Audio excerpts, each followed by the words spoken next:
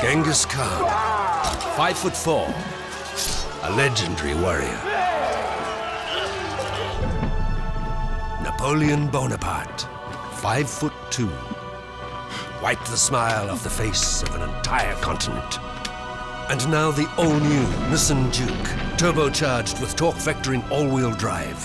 Because if history has taught us anything, it's that badasses come in small packages.